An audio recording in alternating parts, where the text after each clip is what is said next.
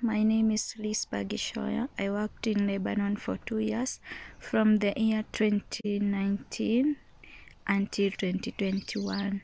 While I was there, I faced so many difficulties because the woman I was taking care of was aggressive.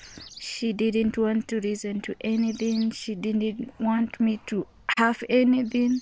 She just wanted me to just work, take care of her. I couldn't complain when things go wrong. I couldn't say if I'm sick.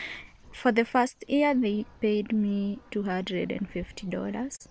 Later on, they reduced my salary with no explanations.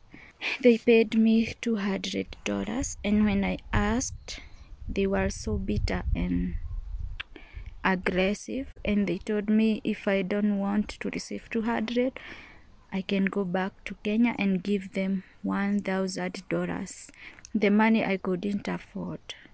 Imagine someone getting paid $200 and they are asking for $1,000 for you to release you. I was afraid maybe he will throw me out like many other girls I saw there. So I persevered but later on it became so hard for me because my passport expired and he didn't accept to renew my passport. It was a very hard time and i was afraid because uh, i'm in a foreign country. So i reached out to this is lebanon. After this is lebanon reached out to him.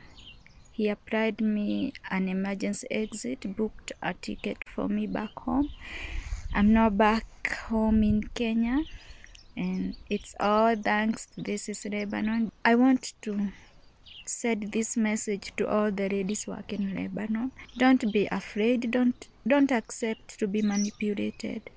Whenever you are in trouble when you reach out to this is lebanon they will be there for you